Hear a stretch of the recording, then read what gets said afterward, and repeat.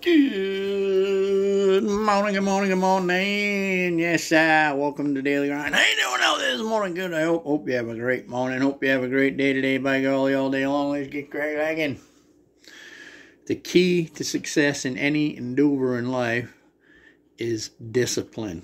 If you want to make a change, you got to have discipline. You got to keep doing what you got to do every day to get to that place where the change happens. If you want to have a better job, better career, better anything. It's discipline. You got to do every day what you got to do to get where you got to get.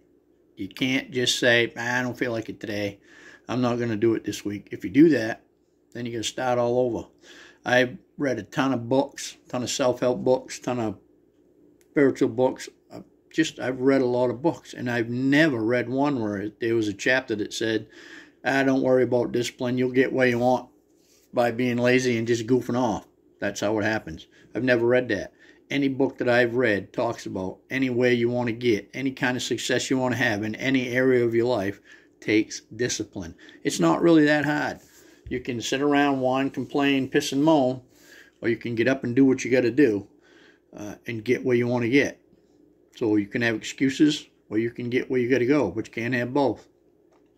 Just a little discipline every day will get you where you want to go. Uh, it's you just do it for a while and it becomes habit, and then uh, before you know it, you've accomplished what you wanted to accomplish.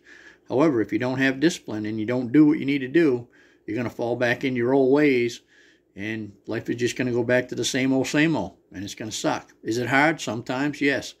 Uh, is it worth it? Absolutely, 100% worth it. So get discipline in your life and things are going to go a lot better. That's my story. I'm sticking to it.